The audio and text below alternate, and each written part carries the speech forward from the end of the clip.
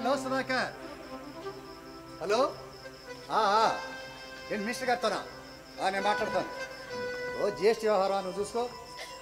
అలాగే అలాగే. ఓకే. వస్తాను వస్తాను. బాయ్. ఉంటాను. మాధవి? మాధవి? నేను అడిగింది కాఫీ. నేను ఇచ్చింది బూస్ట్. ఒక్క నిమిషం. ఫోన్ ఎవరికి? జిఆర్టీ వాళ్ళకను కళానికేతన్ వాళ్ళకి? నువ్వు బూస్ట్ తీసుకొచ్చావంటే ఆ రెండు ప్లేసుల్లో ఏదో ఒక చోట బిల్లు కట్టేది. అందుకని. అంటే మీ కంటికి నేను అలా కనబడుతున్నాను అనమాట ఓ ఈ మాత్రం దానికి అలక? లేకపోతే నేను మీ ఆరోగ్యం దృష్టిలో పెట్టుకుని బూస్ట్ తీసుకొస్తే మీరేమో ఇలా. అది కాదు. పోయిన నెల ఒకసారి ఇలాగే బూస్ట్ తీసుకొచ్చావు. ఆ రోజున ఐదు లక్షల రూపాయలు బిల్లు కట్టేది. అది. ఆరెంజ్ అంటే ఇంట్లో కాఫీ పడైపోయింది బూస్ట్ తీసుకొచ్చాను. ఇంకా నుంచి మీ ఆరోగ్యాన్ని దృష్టిలో పెట్టుకుని మీకు బూస్టే ఇవ్వాలి అనుకుంటున్నాను. ప్రతిరోజు అయితే తట్టుకోలేను. నెలకొకసారి చాలు. మిమ్మల్ని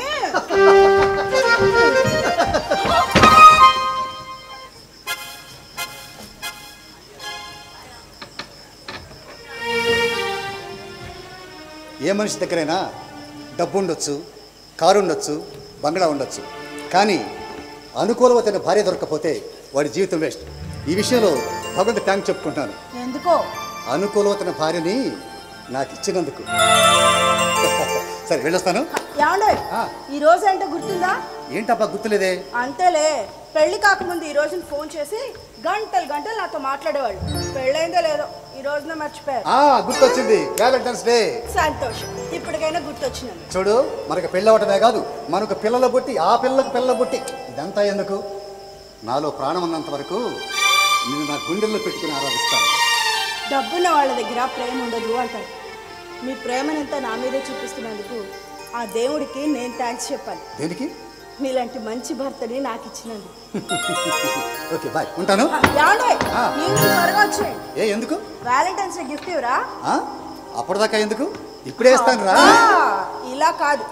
జిఆర్టీకి తీసుకెళ్ళి కొనివ్వాలి. అనుకున్నా. నువ్వు బూస్ట్ తీసుకొచ్చేప్పుడు అనుకున్నా. ఇలాంటిదే జరిగిద్దని చెప్పి. నాన్నగారు వచ్చారు. రండి నాన్న కూర్చోండి నాన్న. ఇంటి దగ్గర అందరూ బాగున్నారా నాన్న? అందరూ బాగున్నారా? నువ్వెట్టుండవు నేను బాగానే ఉన్నాను ఏంటి నాన్న ఫోన్ కూడా చేయకుండా వచ్చారు? ఏదైనా అర్జెంట్ పని ఉందా? ఏం లేదురా. ఆ సోమయ్యలుడు మన ఊళ్ళో ఎరువులు పురుగుల ముందు కొట్టు పెట్టాడు. పోయిన సంవత్సరం మొత్తం వాడి దగ్గరే తీసుకుంటే మొత్తం మూడు లక్షల రూపాయలు అయ్యింది. రెండు లక్షలు అప్పుడే కట్టేశాను. ఇంకొక లక్ష రూపాయలు కట్టాలి. ఈ సంవత్సరం సీజన్ మొదలైంది కదా. ఎరువులు పురుగుల ముందు అడుగుదామని వాడి దగ్గరకు వచ్చా. వాడి ఇల్లు ఇక్కడే. వాడు బజార్కి వెళ్ళాడంట గంట తర్వాత వస్తాడని తెలిసింది. టైం ఉంది కదా. ఒకసారి చూసి పోదామని ఇట్లా వచ్చానురా. నాన్న ప్రతి సంవత్సరం వ్యవసాయ దండగా దండగా అంటూనే ఉన్నావు. ఇంకా ఎందుకు నాన్న? దండగ మరి వ్యవసాయాన్ని పట్టుకుని అక్కడే ఊలాడతావు ఇక్కడ రావచ్చు కదా. అరే కడుపును పుట్టిన బిడ్డ ఏడుస్తున్నాడు ఇసిగిస్తున్నాడు అల్లరి చేస్తున్నాడని ఆ తల్లి ఆ బిడ్డను చంపుకుంటుందా? అట్లాగే ఈ భూమి మీద మనిషి బ్రతికున్నంత కాలం ఆకలి ఉంటుంది. ఆకలి ఉన్నంత కాలం వ్యవసాయం ఉంటుంది. వ్యవసాయం ఉన్నంత కాలం రైతు ఉంటాడు. రైతు ఉన్నంత కాలం ఈ భూమి ఉంటుంది. ఈ భూమికి సంబంధం తెలుసు కానీ మీరు ఏదో కష్టాల్లో ఉన్నారు కదా అని. కష్టాలు కన్నీళ్ళు. రైతుకి కవల పిల్లలరా. ఆ సంగతి ఎందుకులే? రే నేను చెప్పడం మర్చాను. వచ్చే నెల పదో తారీఖు మన ఊరు తిరణాల. అప్పుడే మీ అన్నయ్య కొడుకు పుట్టినరోజు కూడా. ఈ రెండు పనులు కలిసి వస్తాయిరా.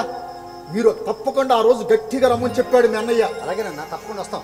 రే ఇంకో విషయం. మీ వదిన మళ్ళీ నీళ్ళు పోసుకుంది. మూడో నెల. సంతోషం మంచి వారు చెప్పారు. నీ వ్యాపార గొడవల్లో పడి అసలు విషయం మర్చిపోబాక తప్పకుండా అమ్మాయిని కూడా తీసుకొని రా అది ప్రయత్నిస్తాను. అవునరా. అన్నట్టు నేను వచ్చి ఎంతసేపు అయినా కనీసం తాగటానికి మంచినీళ్ళు కాఫీ కూడా ఇవ్వలేదు అంటే ఆ అమ్మాయి జరిగిన విషయం ఇంకా మర్చిపోలేదు. మర్చిపోకుండా ఎందుకు తప్పకుండా తీసుకొస్తానుగా. నీ ఇష్టం రా. గట్టిగా తీసుకొని రా. ఏదో ఒకటి సర్ది చెప్పి. వాడు వచ్చే టైం అయింది. నేను ఇళ్ళు వస్తా అలాగే. ఆ, నాన్న ఒక నిమిషం ఆగండి. ఇప్పుడే వస్తాను.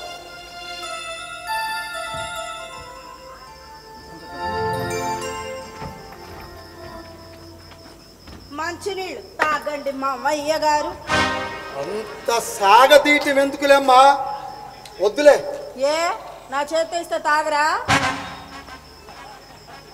సిగ్గుంటే మంచినీళ్ళే కాదు నా గుమ్మం కూడా ఎక్కేవాళ్ళు. ఇది నా కొడుకిల్లు. కొడుకిల్లు. ఆ రోజు మా గుమ్మం ఎక్కడానికి వీల్లేదు అన్నప్పుడు ఏమైంది? ఈ కొడుకిల్లు. ఏదో కోపంలో అంటూ ఉంటావమ్మా అవన్నీ పట్టించుకుంటావా ఏంటి? అవునవును. సిగ్గు శరం మానం అభిమానం ఉన్న వాళ్ళు ఎవరైనా పట్టించుకుంటారు. అవేవి లేని వాళ్ళు ఏమి పట్టించుకోరు. హద్దు మీరు మాట్లాడుతున్నావు ఆ రోజు ఈ రోజు హద్దు మీరు మాట్లాడింది మీరు. ప్రేమించుకున్న మా ఇద్దరిని విడదీయడానికి ఎంతలా ప్రయత్నం చేశారు? మీ మేనగోడలకి ఇచ్చి పెళ్ళి చేయాలని చెప్పి మీ ఆలోచన. పెద్దవాళ్ళు చేసిన పెళ్ళిళ్ళు నిలబడటం లేదు. ఇక ప్రేమించి చేసుకునే పెళ్ళిళ్ళు ఏం నిలబడతాయని మీరు. ఆ అమ్మాయిని పెళ్ళి చేసుకుంటే ఈ గుమ్మం ఎక్కడానికి కూడా వీల్లేదు అని మీ పెద్ద కొడుకు. మీరు ఎన్ని మాటలు మాట్లాడినా సరే నా భర్తకి నేనంటే ఇష్టం ఉంది కాబట్టి మీరు కాదంటున్నా నన్నే పెళ్ళి చేసుకున్నారు. అవునమ్మా ఆ రోజు మేము ఎన్ని చెప్పినా మా మాట వినకుండా నిన్నే పెళ్ళి చేసుకున్నాడు. ఇప్పుడు మీరిద్దరు హాయిగా ఉన్నారు సంతోషంగా ఉన్నారు. ఇంతకంటే మాకు కావాల్సిందే ఉందమ్మా తల్లిదండ్రులుగా మేము కోరుకునేది కూడా అదే కదమ్మా? ఆహా మీరు కోరుకునేది అదే అయితే మరి ఆయన డబ్బులు ఎందుకు అడిగారండి? అసలు నేను డబ్బులే అడగలేదు కదమ్మా. కరెక్ట్గా అడగాల? మీ కష్టాలు బాధలు చెప్తే ఆయనకు అర్థం కాదా? ఆయన లోపలికి వెళ్ళింది కూడా డబ్బులు తీసుకురాడు ఏ మాత్రం సిగ్గున్నా రూపాయి కూడా ముట్టుకోరు. కోడలి పవరేందో ఇప్పుడు చూపించావమ్మా. నీ అసలు రంగు ఇది. దగ్గర మాత్రం చాలానే ఉంది.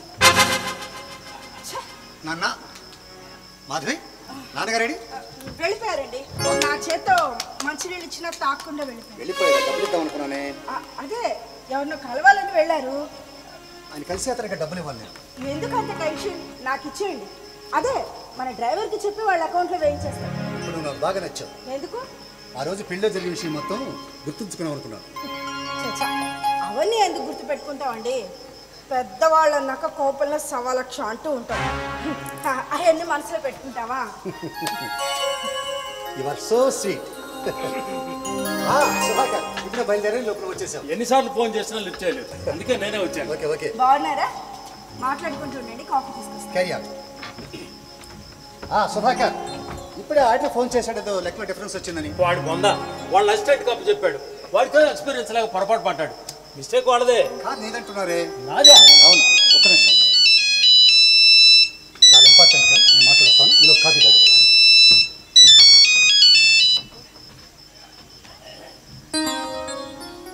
ఆ రమ్య ఆ డైమండ్ నెక్లెస్ పంపించాం. చూసుకున్నావా? ఎలా ఉంది? యాభై లక్షలు కదా. ఎందుకు బాగుండదు? Okay okay. నేను వచ్చిన తర్వాత మిగతా అరేంజ్మెంట్ చూస్తాను. ఓకే బాయ్ సరే అండి. ఇంటి దగ్గర నుంచి. ఏమండి డైమండ్ నెక్లెస్ యాభై లక్షలు అంటున్నారు? ఏంటండి అంత ఆశ్చర్యపోతున్నారు? లాస్ట్ ఇయర్ బర్త్డేకి కోటి రూపాయలు పెట్టి డైమండ్ నెక్లెస్ తెచ్చానండి. ఇయర్ నా అదృష్టం బాగుండబట్టి ఈ మోడల్ నచ్చింది. యాభై లక్షలతో పోయింది. సింగపూర్ అండి. ఏంటండి? సింగపూర్ అంటే అలా నోటి తెచ్చారు? సింగపూర్ నుంచి గోపికృష్ణ మీకు ఎప్పుడేం తీసుకురాలేదా? సరిపోయింది. గుంటూరులో ఉన్న బ్రాడీపేట అరండల్పేట తెలీదు. ఇక సింగపూరు. గోపి చాలా క్యాల్కులేటెడ్గా ఉంటాడండి. దుబారా ఖర్చుగా అసలు ఒప్పుకోడు. ఏంటండి దుబారా?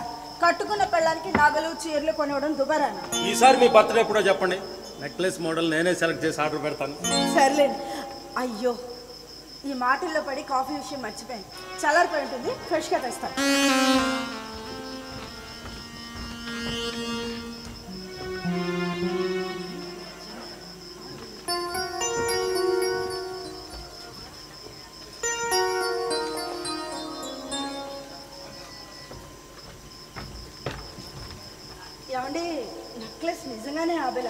అవునండి. అయ్యో ఐఎమ్ ఎక్స్ట్రీమ్లీ సారీ అండి. Sorry, అండి.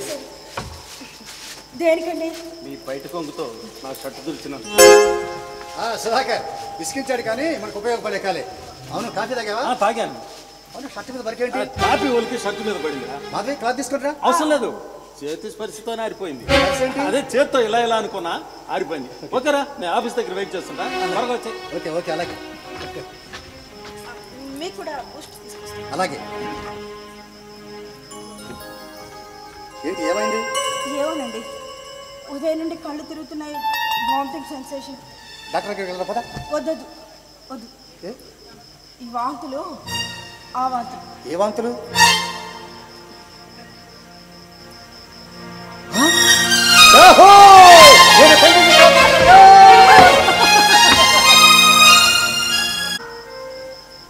గోపి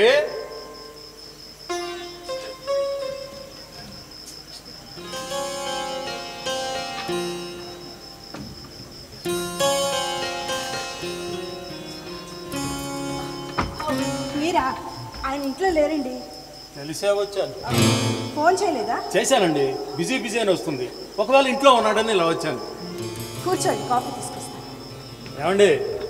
ఈరోజు వేరే క్లాత్ తెచ్చుకున్నాను. మళ్ళీ షర్ట్ మీద కాఫీ పోస్తారో అని భయం. మీరు నవ్వితే చాలా అందంగా ఉంటారు.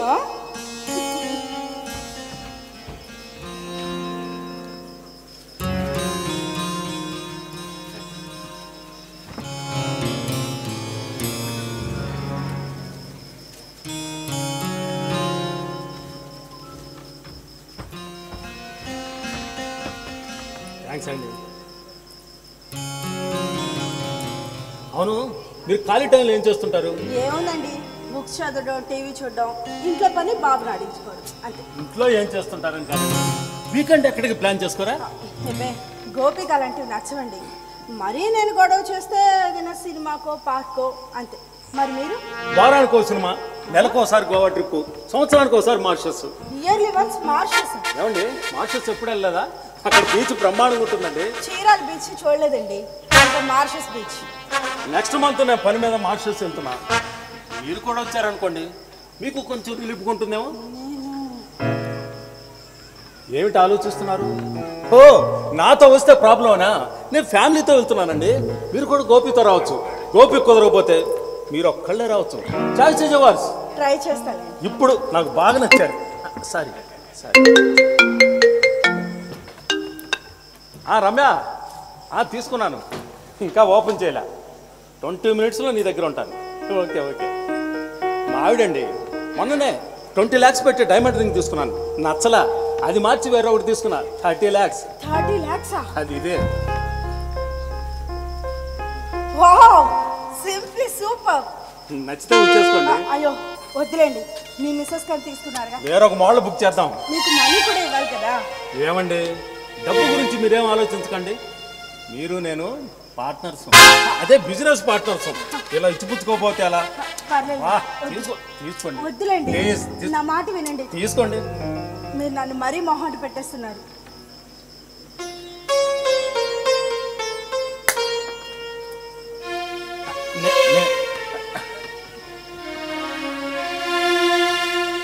ఏమండి నిజం చెప్పాలంటే ఈ రింగు మా ఆవిడ వేలు కన్నా మీ వేలికే చాలా అందంగా ఉంది. ఇంకా మీ మిస్సెస్కి రింగు చూపించడం లేదు. ఇమాజినేషన్తో చెప్పానండి. నిజంగా అంత అందంగా ఉన్నానా? ఉన్నారా ఆ బ్రహ్మ కొంతమందిని మాత్రమే మీలా అందంగా పుట్టిస్తాడు. మీకు నాకు పెళ్ళి కాకపోతే పది కోట్లు ఎదిరిచ్చాను సరే. మిమ్మల్ని నేను పెళ్ళి చేసుకుని ఉండేవాడిని. నిజం చెప్పండి. మీరు ఒక బిడ్డకు తల్లి అంటే ఎవరైనా నమ్ముతారా? మీరు నన్ను మరీ పొగిడేస్తున్నారు. పొగడతాం కదండి. ఫ్యాక్ట్ ఓకే నేను వెళ్ళొస్తానండి. గోపి వస్తాడేమో వాడు నా కోసం ఎక్కడెక్కడ వెతుకుతున్నాడు? నేను ఫోన్ చేస్తాను. ఓకే. ఏమండి? మార్షల్ సంగతి మాత్రం తప్పకుండా వస్తాను. థ్యాంక్ యూ ఆ, సుధాకర్ ఎన్నిసార్లు ఫోన్ చేసి లిఫ్ట్ చేయట్లేదు? సైలెంట్లో పడినట్టుందిరా చూసుకోలేదు. ఇంట్లో ఉన్నామని ఇలా వచ్చాను. తాగాను. మీ ఆవిడిచ్చింది రేపటి నుండి కాఫీ తాగాలంటే మీ ఇంటికే రావాలి. కాఫీ అంత బాగుందా? ఏం మాధవి? అలాంటి కాఫీ నాకు ఎప్పుడు ఇవ్వలేదు? ఏం లేదండి. మీ ఫ్రెండ్ నన్ను మరీ పొగిడేస్తున్నాడు. మొన్న మధ్య మీరు స్పెషల్గా తప్పించారే. ఆ కాఫీనే కల్పించాను అంతే. ఆ, మీకు కూడా తెస్తాను. ఆగండి. నేను తగ్గేది బూస్ట్ కదా? అయ్యో మాటల్లో పడి మర్చిపోయాను. సారీ. రుచిని బట్టి అలవాటు మార్చుకుంటే ఆరోగ్యానికి దెబ్బ అవసరాన్ని బట్టి అభిప్రాయం మార్చుకుంటే జీవితానికి దెబ్బ. సర్లే ఈ కొటేషన్స్ ఎప్పుడు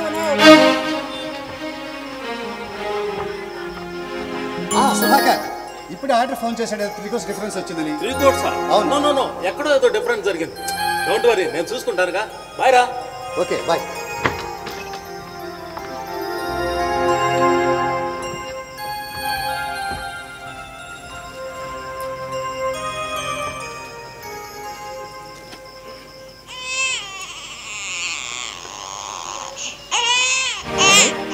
బాబేడు సార్ వాడు అలాగే ఏడుస్తాడు ఏంటి మాటలు? లేకపోతే ఏమిటి? పాలు ఇచ్చి పావు గంట కాలేదు అప్పుడే ఏడుపు మొదలు పెట్టాడు. పావు గంటకి ఏడుస్తాడా నిజంగా నువ్వు పాలు ఇచ్చావా? నిజంగానే ఇచ్చాను ఏ పాలు ఇచ్చావు? ఏ పాలు ఇస్తాను? నా పాలే ఇచ్చాను నీ నోరు అబద్ధం చూస్తున్నా కళ్ళు నిజం చూస్తున్నాయి నువ్వు పట్టిన డబ్బా పాలు కదా? అవును డబ్బా పాలే పెట్టాను. అయితే ఏంటి? నీకు బుద్ధి ఉందా? డబ్బా పాలు పడితే వాడు ఆరోగ్యానికి మంచిది కాదని డాక్టర్ చెప్పాడా లేదా? డాక్టర్లు అలా కాకపోతే ఇంకెలా చెప్తారండి? మన బాధలు వాళ్ళకేం తెలుసు? అంటే బిడ్డకు తల్లి పాలు ఒకటి బాధ? కాదా? అంటే నేనున్నప్పుడు నీ పాలు ఇచ్చి లేనప్పుడు డబ్బా పాలు పడతావు అంతేగా? అవును. అసలు నువ్వు పాలు ఎందుకు ఇవ్వట్లేదో? నాకు అర్థం కావట్లేదు. ఆహా ఇప్పుడు అందాల పోటీలకి వెళ్ళి కప్పు కొట్టుకొస్తావా? పెళ్ళై పిల్లలు పుట్టిన తర్వాత కూడా అందాల పోటీలకు వెళ్ళిన వాళ్ళు ఎంతమంది లేరే? ఎవరికంటే ఎంత కత్తవి? సరిపోయిన శ్రీదేవి కంటే ఎంత కత్తవా? జయప్రత కంటే ఎంత కత్తవా? సమంత కంటే ఎంత కత్తవా? ఎవరికి కావాలి అందం? మీకు అవును. నేను ఏమన్నా చదువులో గోల్డ్ మెడలిస్నా లేకపోతే నా వెనకాల ఉన్న లక్షల లక్షల ఆస్తి లేదే కేవలం కేవలం నా అందం చూసి నా చుట్టూ తిరిగి నన్ను ప్రేమించి పెళ్ళి చేసుకున్నాను. ఎన్ని సంవత్సరాలు అందంగా ఉంటావు? మహా అయితే పది సంవత్సరాలు ఇరవై సంవత్సరాలు నలభై సంవత్సరాలకు అందంగా ఉంటావు. ఆ తర్వాత ముసలిదాని కాక తప్పదు కదా? అసలు నేను పిల్లల్ని కనను అబార్షన్ చేయించుకుంటాను అన్నాను కాదు కూడదు నువ్వు పిల్లల్ని కనాల్సిందని ఇదిగో వాడిని కనే నాకు తీసుకొచ్చాను ఇప్పుడు పాలు బొమ్మని గొడవ గొడవ చేస్తున్నాను ఇదిగోండి. మీకు ఇదే చెప్తున్నాను నేను చనిపోయే వరకు అందంగానే ఉండాలి అని అనుకుంటున్నాను. చూడు పెళ్ళి కాకముందు నువ్వెవరో నేనెవరో. పెళ్ళైన తర్వాత మన ఇద్దరం భార్య భర్తలో. ఒక బిడ్డకు తల్లిని నేను ఒక బిడ్డకు తండ్రిని. పెళ్ళిగా నీ బాధ్యత నెరవేర్చమంటున్నాను. బాధ్యతలు బరువులు నేను మొయ్యలేను అంటున్నాను. అమ్మతనంలో ఉండే గొప్పతనాన్ని ఆస్వాదించలేకపోతున్నావు అంత గొప్పతనం ఉందే అమ్మతనంలో? అమ్మతనంలో ఉండే గొప్పతనం నీకేం తెలిసిన మూర్ఖురాలా? హ్మ్. ఓ తల్లి హాస్పిటల్లో బిడ్డను ప్రశ్నించడానికి చాలా కష్టపడుతుంది. ప్రసవేదన పడుతుంది. కష్టపడి కష్టపడి చివరికి ఒక బిడ్డకు జన్మనిచ్చింది. బిడ్డ పుట్టిన తర్వాత ఆ డాక్టరు వాళ్ళ భర్తను పిలిచి సార్ బిడ్డను ఎలాగో రక్షించుకోగలిగాం. కానీ తల్లి పరిస్థితి చాలా విషమంగా ఉంది. గంట రెండు గంటలో మూడు గంటలో చెప్పలేను. ఐఎమ్ సారీ అన్నాడు. ఆ మాటలు విన్న తల్లి డాక్టర్ని పిలిచి అయ్యా డాక్టర్ గారు నాకు ఎక్కువసేపు బ్రతకాలని లేదు. ఒక్క రెండు నిమిషాలు నన్ను బ్రతికిస్తే చాలయ్యా అని చెప్పడిగింది అప్పుడు ఆ డాక్టరు అమ్మా రెండు నిమిషాలు నిన్ను బ్రతికిస్తే నువ్వేం చేస్తావమ్మా అని చెప్పి అడిగాడు. అందుకామె అయ్యా డాక్టర్ గారు నువ్వు గనుక నన్ను రెండు నిమిషాలు బ్రతికిస్తే ఒక్కసారి ఒక్కసారి నా బిడ్డకు పాలిచ్చి చచ్చిపోతానయ్యా అని చెప్పి మొక్కుకుంది ఆ తల్లి! అది చనిపోతానని తెలిసినా కూడా బిడ్డకు పాలిచ్చి చచ్చిపోవాలనుకుంది ఆ తల్లి. బిడ్డకు పాలనకుండా చంపాలని చూస్తుంది ఈ తల్లి. చూడండి మీరు ఎన్ని కథలు చెప్పినా సరే నేను వాడికి పాలు ఇవ్వను పడతాను మాధవి!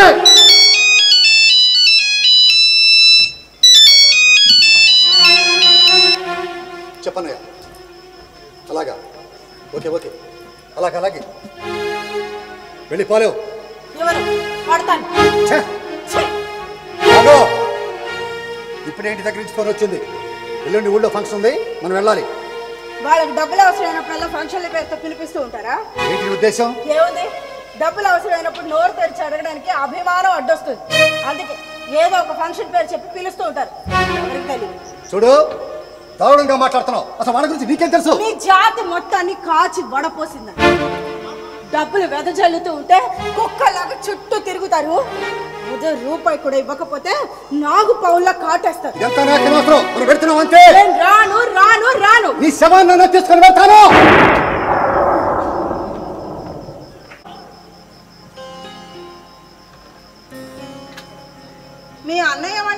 కోసమే ఈ ఫంక్షన్ పెట్టారు అంటే కాదు కాదు కాదు అన్నారు. ఏం జరిగింది? ఫంక్షన్కి వెళ్ళాం. మీ వదినకి చీర పెట్టాం. దాంతోపాటు మీ అన్నయ్య కొడుకు బట్టలు కూడా పెట్టాం. ఆ బట్టలతో పాటు యాభై వేల రూపాయల క్యాష్ కూడా పెట్టాం. మీ అన్నయ్య మీ నాన్న అక్కడే ఉన్నారే. ఒరే మాకు ఈ డబ్బులు వద్దురా అన్నారా? లేదే చక్కగా తీసుకుని జేబులో పెట్టుకున్నారు.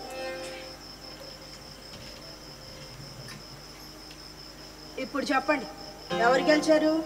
మీరా నేనా? అడుగుతుంది మిమ్మల్ని. ఎవరు గెలిచారు? మీరా? నేనా? నువ్వే గెలిచావు. సరేనా?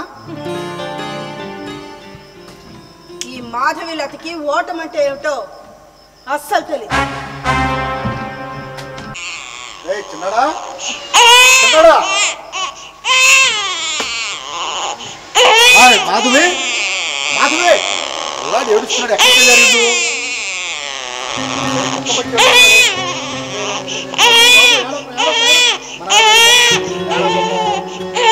అది తాత. ఏడవకురా, ఏడవకురా. ఏడవకమ్మా, ఏడవకురా, బాబు. అమ్మా ఎక్కడికి వెళ్ళారమ్మా వీడు బుక్కు బట్టి ఏడుస్తాడమ్మా ఆకలి అయినట్టుంది పాలు ఇవ్వమ్మా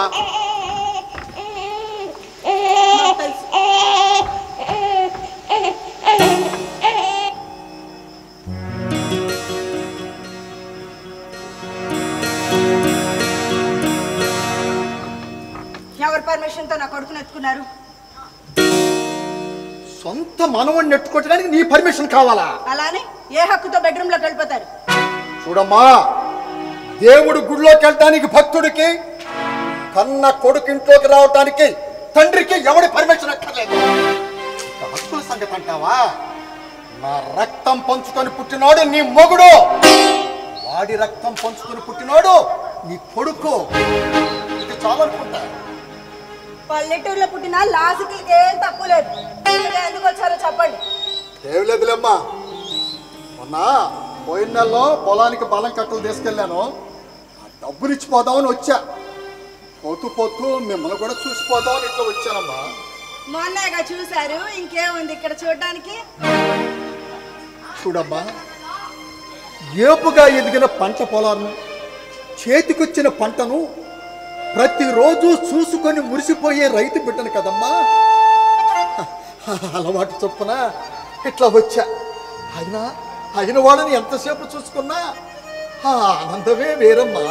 ఇక్కడ మీకు అయిన వాళ్ళు ఎవరున్నారు? అదేంటమ్మా ఆ మాట అంటున్నావు? అమ్మా మన మధ్య ఉన్న బంధం తెంచుకుంటే తెగిపోయేది కాదమ్మా. రక్త సంబంధం. రక్త సంబంధం. డబ్బులు ఉంటే అన్ని బంధాలు బాగుంటాయండి. కొడుకు కోడలు మనవడు అంటే ఎగేసుకుంటూ వచ్చేస్తారు అదే డబ్బు లేదనుకో ఏ బంధాలు గుర్తురావు. తప్పు?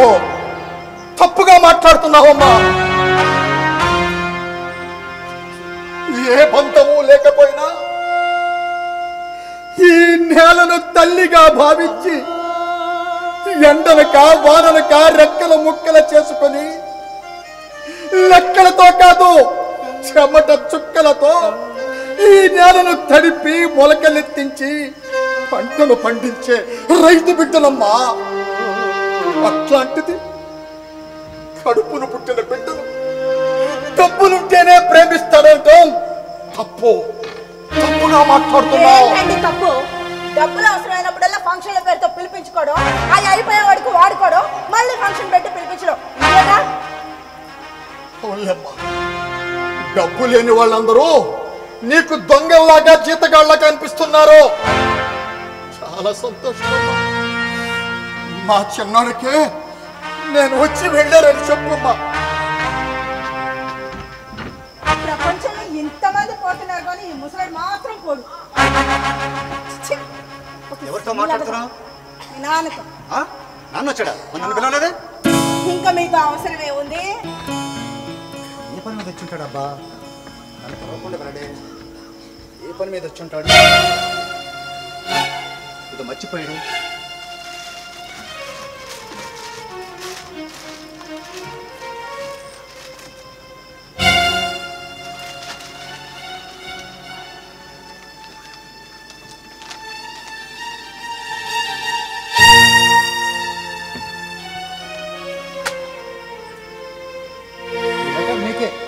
చదువుకో.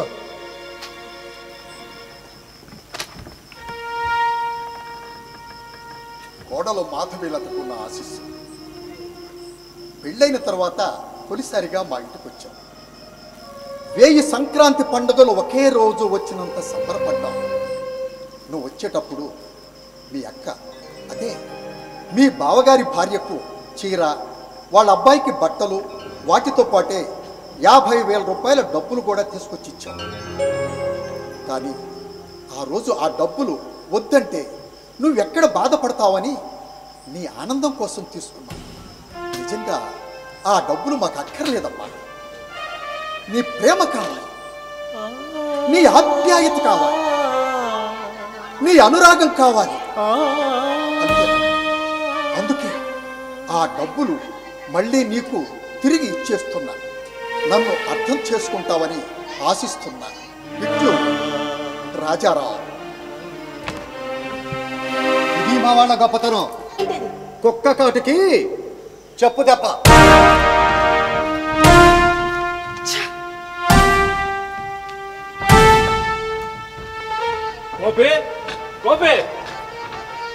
ఏంటి సుధాకర్ ఏంటడావుడి మన బిజినెస్ మొత్తం కొలాప్స్ అయిపోయింది. బాంబే ఢిల్లీ చెన్నై వాళ్ళు రిటర్న్ చేశారు. క్వాలిటీ లేదంటున్నారు. ఐదు కోట్ల రూపాయల స్టాకు ఎందుకో పనికి రాకుండా పోయింది. అదేంటి? సిటీలో నంబర్ వన్ క్వాలిటీ మందే కదా. అది ఒకప్పుడు నీ ఫ్రెండ్ ప్రకాష్ రికమెండ్ చేసి మేనేజర్ పెట్టావుగా. అప్పటి నుంచి ఇదే పరిస్థితి. ఐదు కోట్ల రూపాయల స్టాకు గోడౌన్లోనే ఉండిపోయింది. మన కంపెనీ రెప్యుటేషన్ మొత్తం దెబ్బతింది.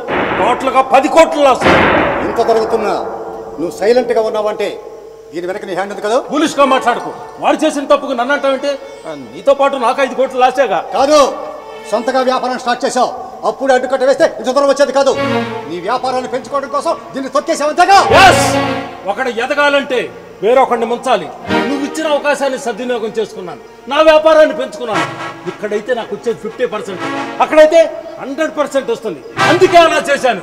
నమ్మి నీ చేతిలో వ్యాపారం పెడితే నమ్మక ద్రోహం చేసి వెళ్ళి పట్టుకొస్తావా నమ్మిన వాడిని పొడిచేదే ఎన్నుపోటు మనం ఎదగాలి అంటే ఎదుటి వాడిని మన కాలు కిందే తొక్కుంటూ వెళ్ళాలి. అదే నిజమైన వ్యాపారస్తుల లక్షణం. నిన్ను అరెస్ట్ చేయిస్తాను.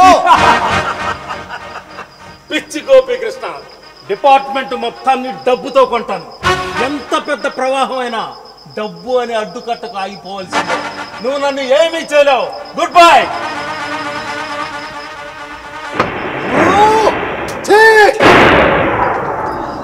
ఏమైందండి అంత గట్టిగా వచ్చారు ఏమైందా? ఆ సుధాకర్ గారు నమ్మి వ్యాపారాన్ని వాడి చేతిలో పెడితే నమ్మక ద్రోహం చేశాడు. లాస్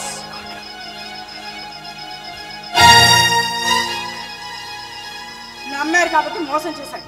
తప్పే ఉంది? అంటే ఒక వ్యక్తిని నమ్మడం తప్ప? తప్పే. ముమ్మాటికి తప్పే. వ్యాపారాన్ని మొత్తం నమ్మి అతని చేతిలో పెట్టారు. కనీసం మానిటరింగ్ అనే చేసుకున్నారా? ఎంతో మందికి అప్పు తీసుకొచ్చాను. అందరికీ తెలిసిందంటే ఇంటి మీద పడతారు. ఆస్తి మొత్తం అమ్మినా నా అప్పు తెచ్చలం. ఏం చేయాలి? దిక్కు తోచుకోలేదు నాకు. ఇప్పుడు ప్రయోజనం ఉంది. ఈ ఏడు పెద్ద ముందే ఏడవాలి. అయినా మిమ్మల్ని ప్రయోజనం లేదు. అంతే నా కర్మ. అనుభవించాల్సిన టైంలో ఏమీ అనుభవించలేదు. ఇప్పుడు అనుభవిద్దామన్నా ఏమీ మిగలలేదు. ఒక్క వెన్నుపోటుతో కుబేరుడు కాస్త కుచేలం చేశాడు కదా. ఆ కుచేలుడి వెనకాల శ్రీకృష్ణుడు ఉన్నాడు. మరి ఈ కుచేలుడి వెనకాల ఎవరున్నారు? ఇరవై నాలుగు గంటలు మిమ్మల్ని దేవరించుకునే మీ నాన్న మీ అన్నయ్య! సరే ఇవన్నీ నాకెందుకు కానీ ఆ నెక్లెస్ సంగతి చూడండి. బుద్ధిందా నీకు?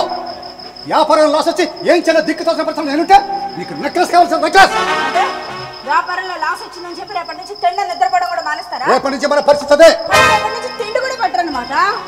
మరి అలాంటప్పుడు నాకు నెక్లెస్ చేయిస్తారని మాట ఎందుకు ఇచ్చారు? ఆ రోజు పరిస్థితి బాగుంది చేద్దాం అనుకున్నాను ఇప్పుడు పరిస్థితి బాగలేదు. నేనేం చేయమంటావు? ఆ రోజు నువ్వేమన్నావు కరెక్ట్ గానే విన్నావు. ఆ రోజు నువ్వు నువ్వు ఏమన్నావు? నేను బాధపడితే నువ్వు అన్నిట్లోనూ ఫెయిల్ అయినట్టే నాకు ఇప్పుడు నిజంగానే నువ్వు అన్నిట్లోనూ ఫెయిల్ అయ్యావు! ఫెయిల్ అయ్యాను. స్నేహితుడు నమ్మి వ్యాపారాన్ని వాడి చేతిలో పెట్టి అక్కడ ఫెయిల్ అయ్యాను? నాకు ఒక అనుకూలమైన భార్య దొరుకుతుందని ఊహలో ఊహించి ఇక్కడ ఫెయిల్ అయ్యాను. దేవుడా ఇలాంటి భార్యని ఇవ్వకు. ఒకళ్ళు ఇచ్చావంటే వాడు రెండు రోజుల కంటే ఎక్కువ బ్రతకడు. నాది కూడా సేమ్ ఫీలింగ్ వ్యాపారంలో లాస్ వచ్చి రేపటి నుంచి ఏం చేయాలో తెలియక చేతులు కట్టుకుని మూలను కూర్చుని పెళ్ళ పిల్లలు ఎలా పోషించాలో అర్థం కాక అయ్యో రామచంద్ర దేవుడించుకుంటూ కూర్చున్న చేత పేరు మొగుడు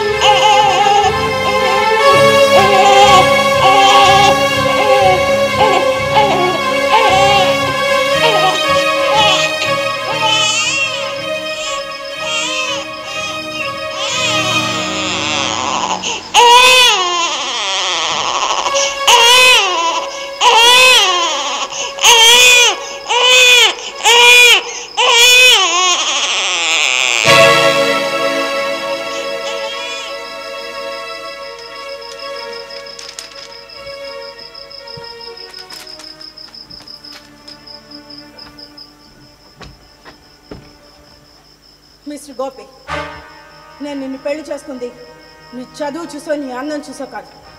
కేవలం కేవలం నీ వెనకున్న ఆస్తిని చూసి. ఇప్పుడు ఆస్తి ఎలాగో నీ దగ్గర లేదు. అందుకే నేను ప్రేమించి నన్ను ప్రేమించే డబ్బున్న సుధాకర్తో వెళ్ళిపోతున్నాను. గుడ్ బాయ్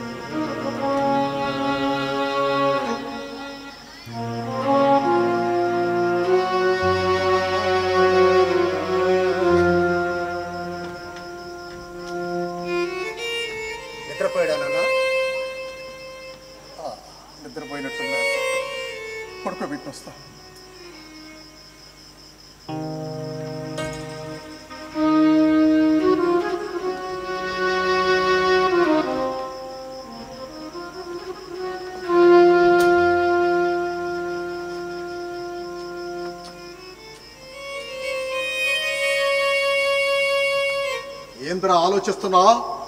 దాన్ని ఇంకా మర్చిపోలేదా? ఆ పాపిచ్చి దాన్ని నరికి పోగలేదురా పాపం లేదురా. ఏం తక్కువ చేశానన్న విధంగా చేసింది?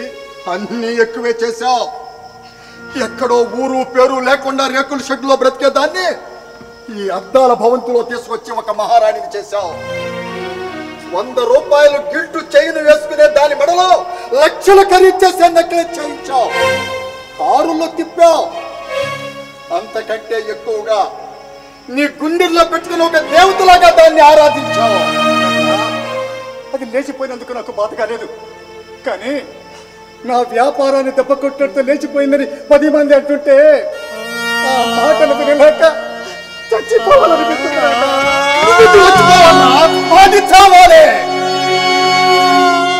చిన్నడా పంట చేనుకు తెగులు పడితే ముందు కొడతాం అప్పటికి ఆ తెగులు తగ్గకపోతే ఆ పంట పీకేసి వేరే పంట వేసుకుంటాం. అంతే. అది పోతే ఏంద్రా? దానికంటే మంచి దాన్ని బుద్ధిమంతురాన్ని తీసుకొచ్చి నీకు ఇప్పుడే పెళ్ళి చేస్తాను రా నాన్న తప్పు. తప్పు మాట్లాడుతున్నారు. పంటకు తెగులు పడితే పీకేసి వేరే పంట వేసుకుంటాం. అది ఒక సంవత్సరం వరకే. కానీ ఇది నూనెళ్ళ పంట నాన్న. ఈ పంటకి తెగులు పడితే నయించేటానికి ఏ మందులు లేవు. జీవితాలు సర్వనాశనం అయిపోవాల్సిందే ఇక ఇక నా జీవితం ఇంతేనన్నా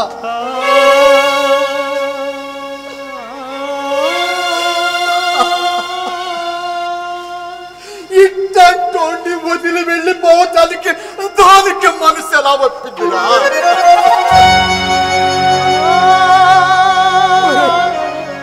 సరిగా అన్నది ఎన్ని రోజులు అయిందిరా కొద్దిగా అన్నట్టురా వద్దు నాన్న నా తాకరిగా లేదు మీరు వెళ్ళండి. వద్దు నాన్న మీరు వెళ్ళండి.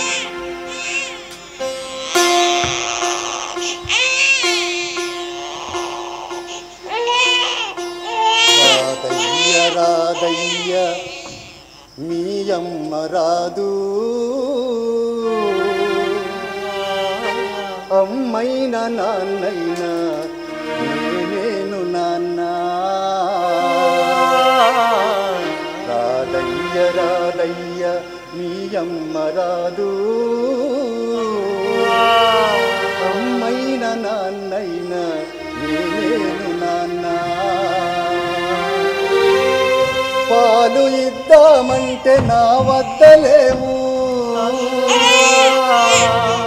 ఈ పాల నేను తాగాలి నాన్న.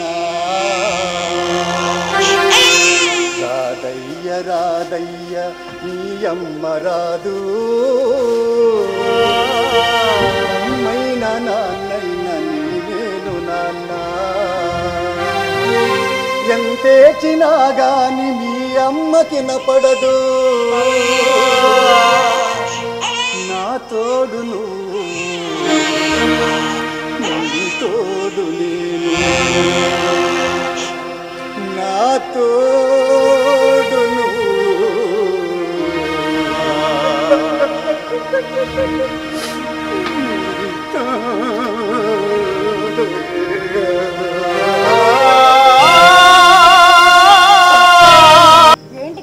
తీసుకొచ్చావు ఇక్కడైతే ఎవరు ఉండరు.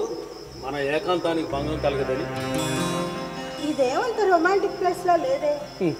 సరదాగా గడపడానికి అయితే రొమాంటిక్ ప్లేస్ కావాలి కానీ విడిపోవటానికి రొమాంటిక్ ప్లేస్ దేనికి?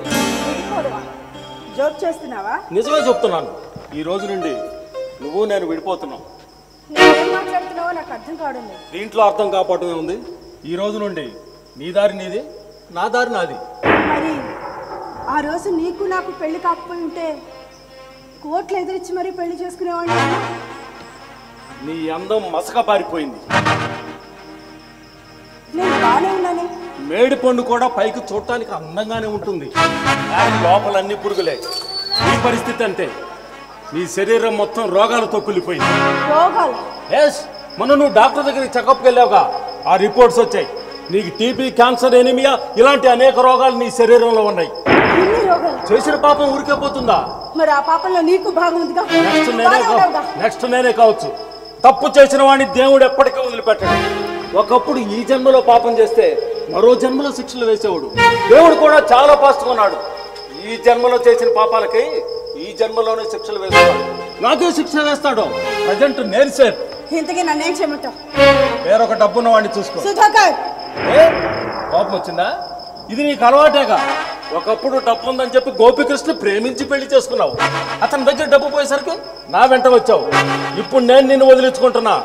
వేరొక డబ్బున్న వాడిని చూసుకో! సభ్యత సంస్కారం లేకుండా మాట్లాడు. సభ్యత సంస్కారం. వీటి గురించి మాట్లాడాకు నీకు నాకు లేదమ్మా. చూడు మాధవి ఒకప్పుడు నీ అందం చూసి ఒక్కసారైనా నిన్ను పొందాలి అనుకున్నా. నా అదృష్టం కొద్దీ నువ్వే నా ఎంట వచ్చావు. ఎంజాయ్ చేసావు ఇప్పుడు నీ శరీరం మొత్తం రోగాల పుట్ట. ఆ పుట్టలో చేపెడితే ఆ రోగాల పాము నన్ను కాటేస్తుంది. గుడ్ బాయ్ ప్లీజ్ సుధాకర్ నన్ను అన్యాయం చేసి నిన్నే నమ్ముకొని వచ్చాను. బంగారం లాంటి నా బిడ్డని నా భర్తని వదిలిపెట్టొచ్చాను నీకు దయచేసి నాకు అన్యాయం చేయొద్దు.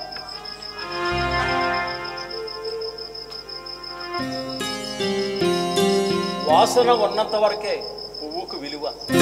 నువ్వు ఇప్పుడు వాడిపోయిన పువ్వు ఎందుకో పనికిరావు.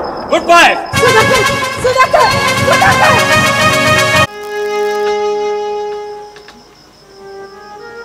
చిన్నడా? ఏ చిన్నడా. నాన్న వదిలికి ఎలా ఉంది నాన్న? పర్వాలేదని చెప్పాడురా డాక్టర్ గారు. ఇదంతా నా వల్లే జరిగింది నాన్న. మీరందరూ ఇక్కడికి రాకపోతే వదిలికి యాక్షన్ జరిగేది కాదు. నువ్వు అన్నానికి ఇబ్బంది పడతావని మేము అందరం వచ్చావురా అనుకోకుండా ఈ ప్రమాదం జరిగింది. రెండు నెలల దాకా మంచం మేంచి దిగొద్దని చెప్పాడురా డాక్టర్ గారు. ఇప్పుడు టైం ఏం బాగాలేదు నాన్న. అవునరా. దెబ్బ మీద దెబ్బ నీకే తగ్గుతున్నా ఏ దెబ్బ తగిలినా ఏడవటానికి నా కళ్ళల్లో నీళ్ళు కూడా లేవు నాన్న. ఆ దేవుడు కూడా నీలాంటి మంచోళ్ళకే పెడుతున్నాడు రా కట్టాలని.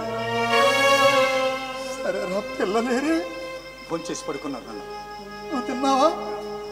మీరు వెళ్ళి భోంచేసి పడుకోండి. సరే.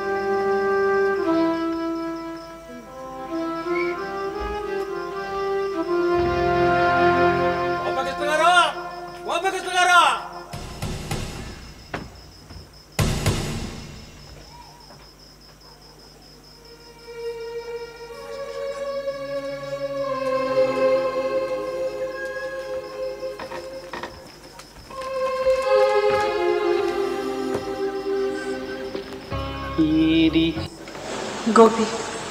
నేను మాధవిని. ఈ ఉత్తరం చదవడానికి కూడా నువ్వు ఇష్టపడవన్న విషయం నాకు తెలుసు. కానీ నేను ఇప్పుడు చావు బ్రతుకుల మధ్య ఉన్నాను. ఆఖరి క్షణాల్లో ఉన్నాను. నా ఆఖరి కోరిక తీరుస్తావన్న ఆశతో ఈ ఉత్తరం రాస్తున్నాను. ఒక్కసారి ఒక్కసారి మన బాబుని నాకు చూపించవు దయచేసి నా ఆఖరి కోరిక తీరుస్తావు కదా. ఇట్లు నీకేమీ కానీ నీ మాధవి.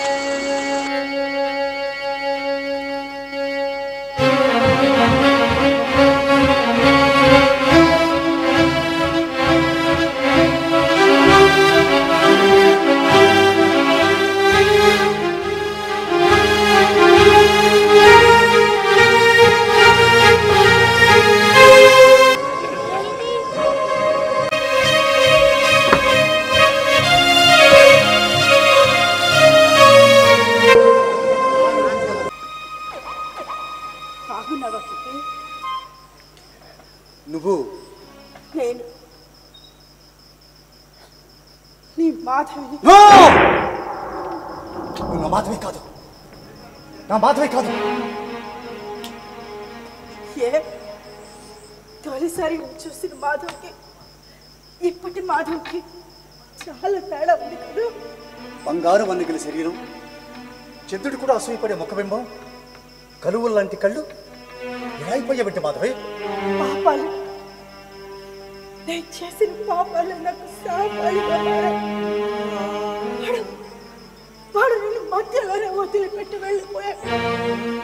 ఈ ప్రపంచంలో ఉన్న అన్ని రోగాలు నన్ను చుట్టుముట్టాయి. క్యాన్సర్ టీబీ ఎనిమియా ఇట్లా మనిషిని తొందరగా తీసుకెళ్ళే. అన్ని రోగాలు. సరే కానీ మన బాబుని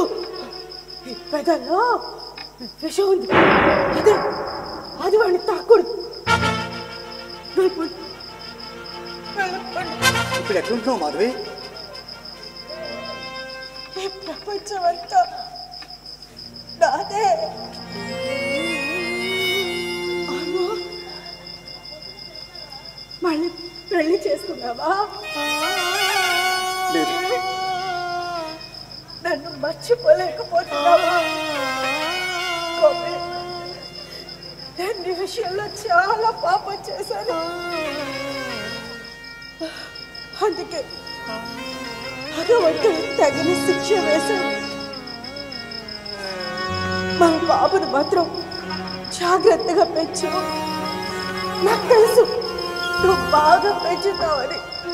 కానీ వాడు అమ్మ ఎలా చనిపోయిందో మాత్రం వాడికి తెలియనివ్వద్దు అది కాదు మాధవి. వెళ్ళిపోమన్నానా? ఇప్పుడు ఎక్కడికి వెళ్తావు మాధవి ఎక్కడికి వెళ్తే మాత్రం డబ్బులు ఏమైనా కావాలా?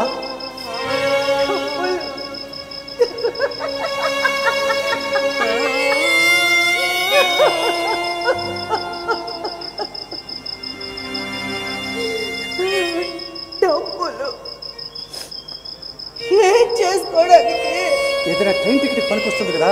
ఏ? ఇలా వెళ్ళి ట్రైన్ ఎక్కితే నన్ను ఏమైనా చేస్తారా?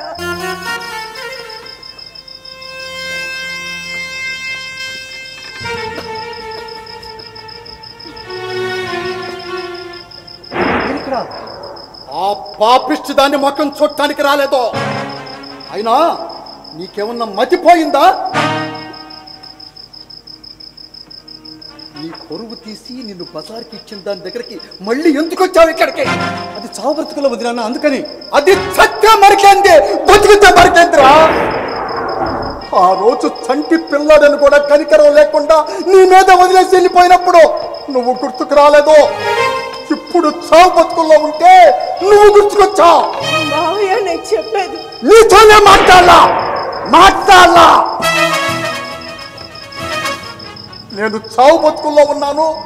మిమ్మల్ని చూడాలని ఉంది. అని ఉత్తరం రాసి పంపగానే కరిగిపోయి ఎగేసుకొని వచ్చావన్నమాట. నాన్న మీకు ఒక విషయం చెబుతాను వినండి. ఒకప్పుడు నేను పుస్తకాల్లో చదివింది ఈ మధ్య సోషల్ మీడియాలో హల్చల్ చేసే విషయాన్ని ఒకటి చెబుతాను వినండి. నెల్సన్ మండేలా నల్ల జాతి విముక్తి కోసం పోరాడిన మహాయోధుడు. చివరికి ఆ దేశానికి అధ్యక్షుడయ్యాడు. అధ్యక్షుడైన తర్వాత ఆటవిడుపుగా ఉంటుందని ఒక చిన్న హోటల్లో భోజనం చేయడానికి తన ఫ్రెండ్స్తో కలిసి వెళ్ళాడు. భోజనం ఆర్డర్ ఇచ్చాడు. దూరంగా ఒక వ్యక్తి కనిపించాడు. వెయిటర్ని పిలిచి అతను ఏం ఆర్డర్ ఇచ్చాడని చెప్పి అడిగాడు. అతను కూడా భోజనం ఆర్డర్ ఇచ్చాడు సార్ అని చెప్పాడు.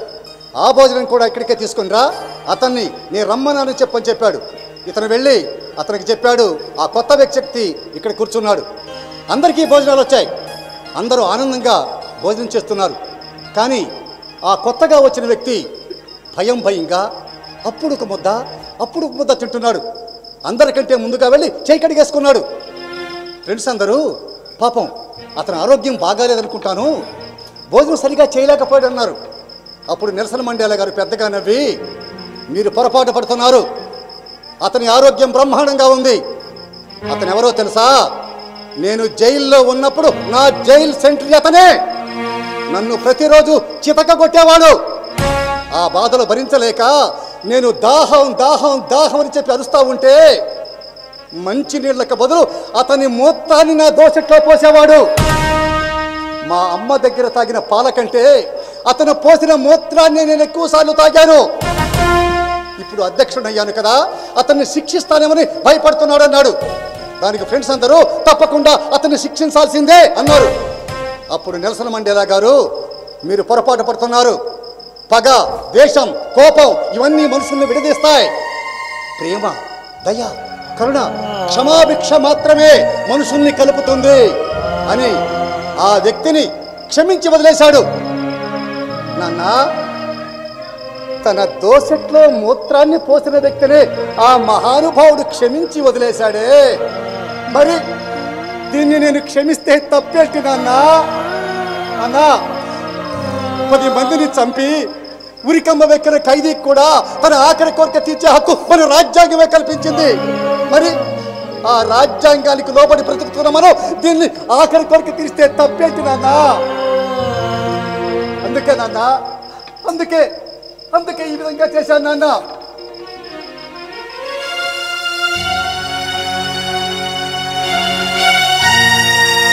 చూడు. హాన్ని చూడు. అట్టాంటోన్ని వదిలేసి వెళ్ళిపోయా కొన్ని యుగాలు తపస్సు చేసినా అట్లాంటి మొగుడు నీకు దొరకడు. బంగారం లాంటి కాపరాన్ని నాశనం చేసుకున్నావు అరే చంద్రా దీన్ని నువ్వు క్షమించినా నేను మాత్రం క్షమించను. ఎందుకంటే ఇన్నాళ్ళు నువ్వు పెద్ద మనోవేదనను కళ్ళారా చూసిన తండ్రిని రాదు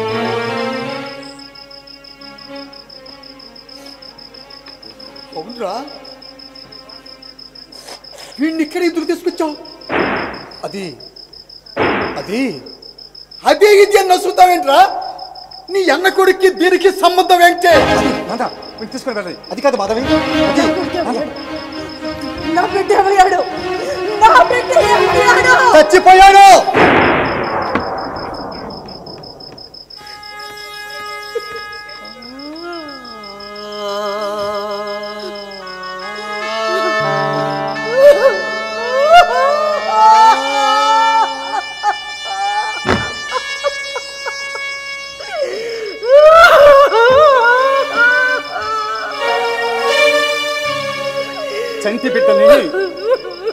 మీద వదిలేసి వెళ్ళావు.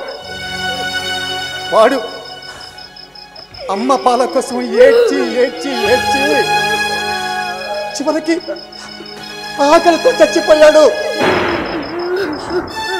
నాన్న కడుపులో పుట్టిన బిడ్డని ఒక్కసారి చూడాలని ఉంది. చూపించండి ప్రాధాన్యపడింది ఏం చేయమంటావు నాన్న? ఆఖరి దశలో ఉన్న వ్యక్తి కోరిక తీర్చడం సమంజసంగా భావించి తన బిడ్డ చచ్చిపోవడం తెలిస్తే అది ఎక్కడే గుండె పగిలి చచ్చిపోతుందేమోనని అన్నయ్య కొడుకుని తీసుకొచ్చి దాని కొడుకుగా చూపించాను నాన్న. తప్పైతే క్షమించండి నాన్న. అరే చిన్నోడా నువ్వు నా కొడుకు అని చెప్పుకోవడానికి నాకెంతో గర్వంగా ఉందిరా. నేను గాంధీకారిని చూడలా. బుద్ధుణ్ణి చూడలా. ఇందాక నువ్వు చెప్తివే ఆ నెల్సన్ మండేలా గారిని చూడలా. ఎవరిని చూడలా? ఇప్పుడు వాళ్ళందరూ నాకు నీలో కనిపిస్తున్నారా? నాకు నీలో కనిపిస్తున్నారు?